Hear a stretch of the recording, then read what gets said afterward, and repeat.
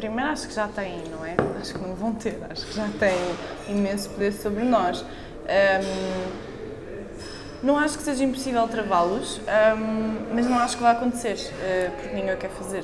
Portanto, acho que é muito esforço, é muito esforço, era preciso uh, muita coisa para mandá-los abaixo. Um, e acho que ninguém se vai importar o suficiente para os ter, sinceramente.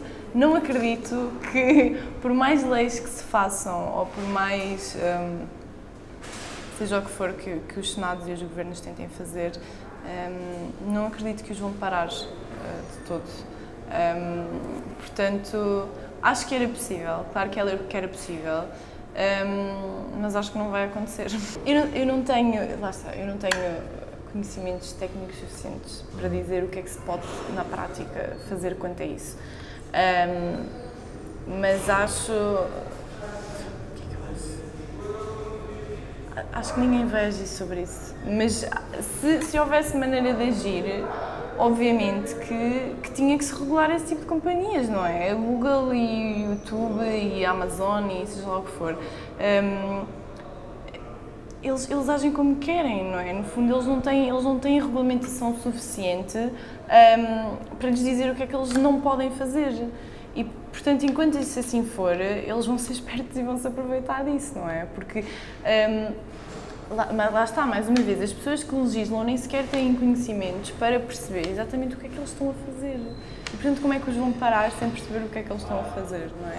Quando eu digo parar, pronto, isto parece, sim, mas, sim, mas sim, é parar, não é? Parar eh, o que eles estão a fazer ou parar uh, aquilo que a Cambridge Analytica fez ou a venda de dados que está a haver e que nós estamos a fingir que não se passa nada ou não sei, as políticas de privacidade que dizem coisas que nós nem sequer fazemos ideia, de 500 páginas, quer dizer, eles não vão conseguir parar nada disso porque não têm, não têm, não têm conhecimentos para isso. Uh, eu vou outra vez bater na mesma questão, mas é, é, não se pode esperar que um governo que não, que não percebe de uma coisa resolva uma coisa.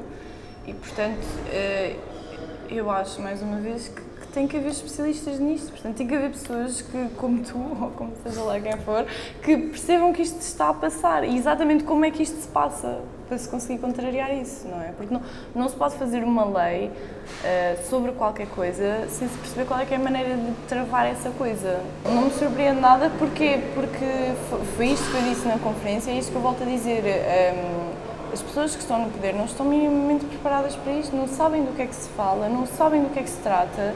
Um, e enquanto isto acontecer, e atenção que as pessoas que estão no poder são pessoas de um, de um extrato um, de um extrato de idade mais elevado.